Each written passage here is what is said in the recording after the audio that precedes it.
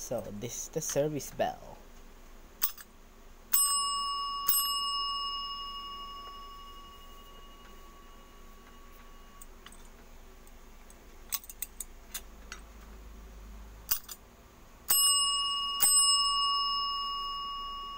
Two orders for it.